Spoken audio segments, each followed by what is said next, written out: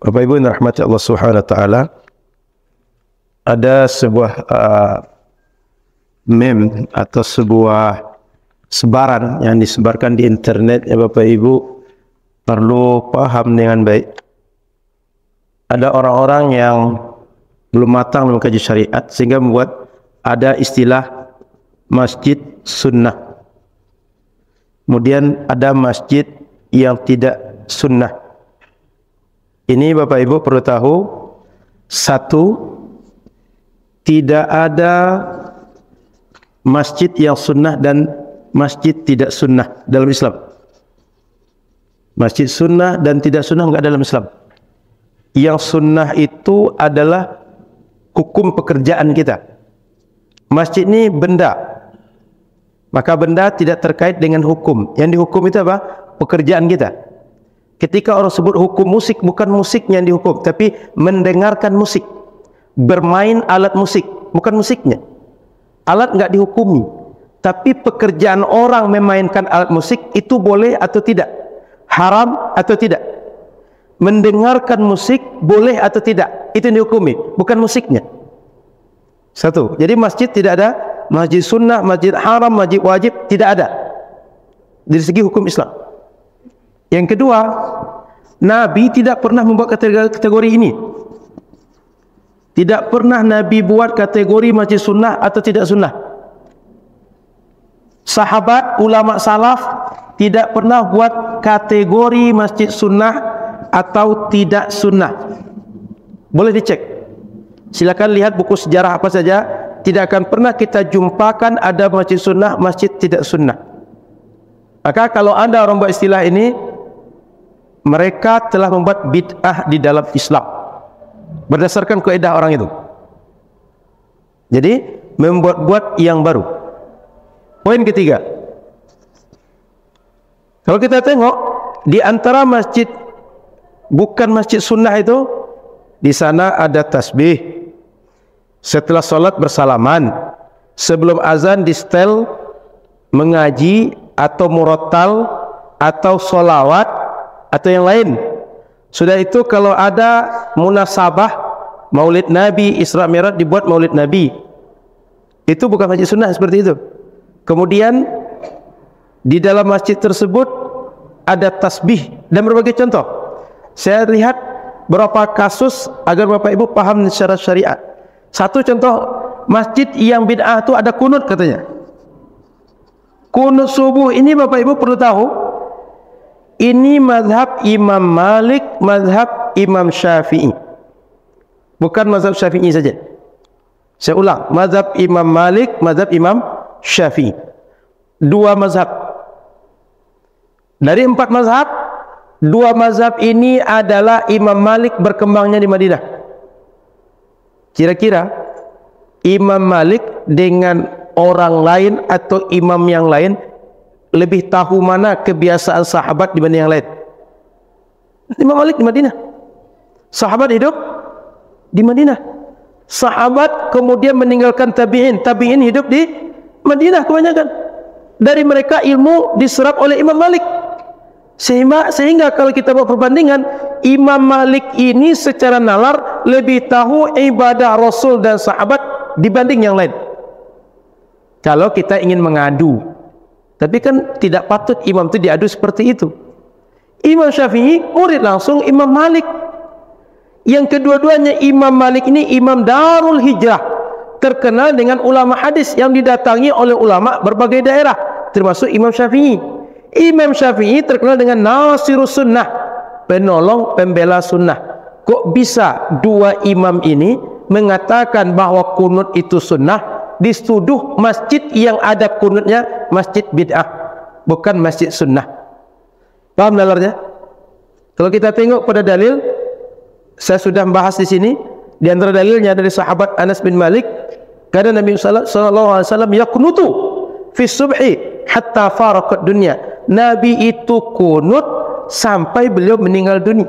Sehingga sahabat-sahabat Nabi juga berkunut sepeninggal Nabi sallallahu alaihi wasallam. Sehingga tuduhan kunut di masjid yang tidak sunnah tadi adalah sebagai bukti bid'ah ini adalah tuduhan tanpa ilmu Contoh yang lain. Tasbih. Bapak Ibu, berzikir dengan jari saja. Kalau misalnya berzikir seribu kali dengan jari ini, kuat jari ini untuk membuat kita valid bahawa bilang kita ada seribu. Kira-kira lah Pak, ini kita tak usah secara praktek. Kira-kira saja. Jari ini ngitung seribu, ngitung dua ribu. Berat. Orang bisa dengan jari kalau zikirnya 99 cuma. 33 subhanallah, 33 alhamdulillah, 33 Allahu Akbar. Sahabat Nabi, para ulama setelah mereka, zikir itu tak sekedar 99. Tapi mereka ribuan. Sahabat Abu Hurairah itu ceritakan bahawa dia alfa uqdah punya 2000 pintalan. Lalu 2000 tadi? La yanamu hatta yusabbihu bih. Dia tidak tidur kecuali sudah berzikir dengan 2000 tadi. Anggap ini satu pintalan misalnya atau satu biji. Ini dipindahkan tempat lain. Kemudian yang satu lagi pindah tempat lain sampai 2000 selesai baru dia tidur. Kalau pintalan itu kan benang kan? Kalau kita hitung pintalan 1, 2, 3, 4 sudah 2000 baru dia tidur sahabat Abu Hurairah sahabat Nabi mengamalkan Mungkinkah sahabat Nabi mengamalkan sifatnya bid'ah? Tidak. Cuma bentuknya saat itu tidak bola-bola atau biji tasbih seperti kita hari ini. Hari ini cuma berkembang saja dari pola yang dibuat oleh sahabat Abu Hurairah. Poinnya, dia tak lagi pakai jari menghitung hitungan zikir. Dan ini sebenarnya dalam Al-Quran, kalau kita tengok, suruhan Quran itu, Ya ayuhalladina amanu zikurullaha zikran kathira. Eh, orang-orang beriman, berzikir kalian pada Allah dengan zikir sebanyak-banyak zikir dan Al-Quran memuji orang yang banyak zikirnya. Maka hati-hati. Orang yang sedikit zikir dalam Al-Quran, Al-Munafiqun. Orang munafik, La yadhkurun Allah illa qalila. Orang munafik itu zikirnya sangat sedikit pada Allah. Sehingga orang kalau batas dengan jari, jangan-jangan orang yang biasa sedikit berzikir. Justru orang munafik yang seperti itu. Tiga, bersalaman setelah solat. Berjabat tanganlah bahasanya. kita umat Islam berjumpa boleh enggak jabat tangan? Setiap kali jumpa boleh enggak jabat tangan? Kata Nabi Mamin Musliman tidaklah dua orang Muslim. Mamin Musliman ini dua orang Muslim mereka berjumpa lalu mereka berjabat tangan kecuali Allah gugurkan dosa-dosa mereka saat mereka mau bersalaman saat berjumpa tadi itu. Jika bersalaman boleh, Berarti kapan saja salaman itu boleh dibuat kan? Mau buat sebelum solat, setelah solat, dalam masjid, luar masjid. Maka orang kalau habis solat bersalaman, dia sedang melakukan perbuatan yang dibolehkan syariat di satu waktu di antara waktu-waktu yang dibolehkan. Maknanya semua waktu boleh. Dia pilih setelah solat. Berarti dia melakukan yang boleh di antara waktu-waktu yang dibolehkan oleh syariat. Masa bersalaman haram? Masa bersalaman bid'ah? Contoh yang lain. Kunut, tasbih, jabat tangan. Sudah itu tidak ada kaligrafi.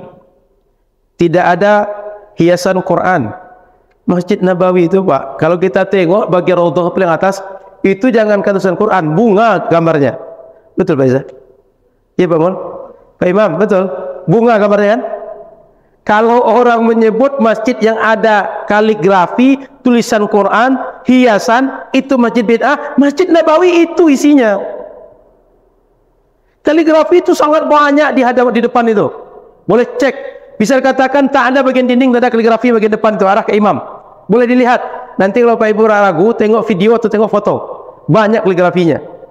Masjid Nabawi, masjid bid'ah. Contoh yang lain menghidupkan setel musik murattal. Apa tujuan kita menyetel musik murattal itu? Ngasih tahu Islam, sebentar lagi waktu solat masuk, kalian yang bekerja berhentilah lagi. Kalian berdagang, siap-siaplah kalian ambil uduk lagi. Supaya kalian jangan terlambat. Supaya kalian bisa solat jamaah. Ini bagian cara masyarakat kita mengasih tahu waktu solat sudah dekat. Bagian daripada menasehati orang. Cuma kan tak mungkin panggil orang semua teriak-teriak. Eh, solat kalian lagi tapi dihidupkan murattal, dihidupkan nasyid, dihidupkan salawat, cara supaya orang sudah ngeh ini waktu salat akan masuk. Mengajak orang, cara dakwah, cara mengingatkan. Makanya aneh mengajak orang mengingatkan orang supaya sholat jamaah itu dipermasalahkan. Nanti orang tak sholat jamaah dipermasalahkan. Apa itu ahlu sunnah katanya. Tapi masjid tak sholat jamaah tak ikut masjid kata dia. Masjid-masjidnya sepi di sholat jamaah. Mengajak orang sholat jamaah dipermasalahkan. Orang tidak sholat dipermasalahkan juga. Jadi maunya apa gitu. Jadi Bapak Ibu rahmati Allah Subhanahu wa taala membuat kategori masjid sunnah masjid bid'ah itu sendiri bid'ah. Yang kedua tak ada masjid yang bid'ah tak ada yang sunnah. Yang sunnah yang tidak sunnah itu perbuatan manusia. Perbuatan manusia yang dihukumi oleh syariat dia sunnah atau tidak sunnah. Kemudian berbagai klaim ini hanya klaim tak suka saja dengan amalia dibuat oleh orang berbeda oleh ahlu sunnah. Orang ahlu sunnah berbuat kita tak suka dengan dia lalu kita klaim perbuatan ahlu sunnah itu sebagai perbuatan bid'ah. Maka hati-hati dengan mem, dengan sebaran seperti itu. Jangan sampai kita termakan oleh pemikiran yang dangkal oleh orang yang tak paham dengan Islam. Mudah-mudahan manfaat.